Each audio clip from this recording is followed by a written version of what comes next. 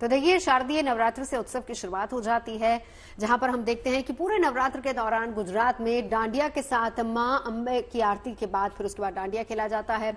अगर हम कोलकाता या फिर बंगाल की बात करें, वहाँ दुर्गा पूजा मनाई जाती है, फिर उसके बाद दशहरा उत्तर भारत में। लेकिन हम ये समझते थे कि केवल उत्तर भारत में या फिर दूसरे हिस्सों में दशहरा दशमी के दिन ही मनाया जाता है। अब आपने यहाँ पर कुल्लू दशहरा की तस्वीरें देखी, वैसे मैसूर दशहरा भी बहुत फ़ेमस है, और इसके अलावा एक और दशहरा है जो चलता है पिछहत्तर दिन तक। पूरे देश में जिस तरीके से दशहरा उत्सव मनाया जा रहा है, उसके सारे रंग हम गुड न्यूज़ टुडे पर आपके लिए लेकर आए हैं।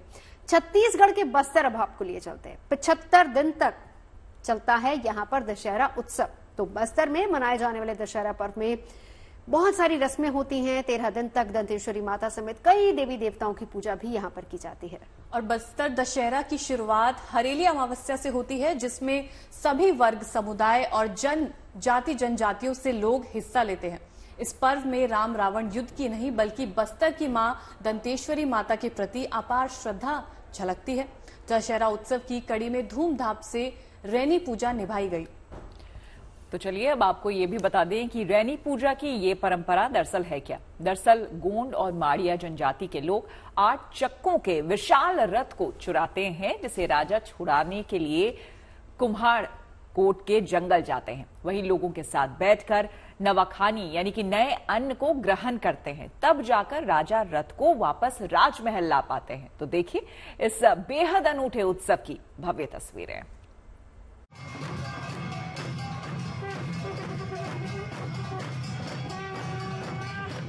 पूरे लाव लश्कर गाजे बाजे के साथ चल रही ये यात्रा बस्तर के उस दशहरा उत्सव की है, जिसका नाता सदियों पुराना है। पचहत्तर दिनों तक चलने वाले बस्तर दशहरा की अपनी परंपरा है, अपना इतिहास है। मंगलवार को बस्तर दशहरा में बाहर रहने की परंपरा निभाई गई। इस परंपरा के तहत गोंड और माड़िया जनजाति के लोग चोरी किए गए आठ चक्कों के विशाल रथ को राजा से छुड़ाने कुम्हड़ा कोट जाते हैं और उनके साथ बैठकर नावाखानी यानी नए अन्न ग्रहण करते हैं। तब जाकर राजा रथ को वापस राजमहल ला पाते हैं। देश में प्रचलित रावण दहन के विपरीत बस्तर में दशहरे का पर्व रथ उत्सव के रूप में नज़र आता है। माड़िया समुदाय की के मान से आप यहाँ आएँगे।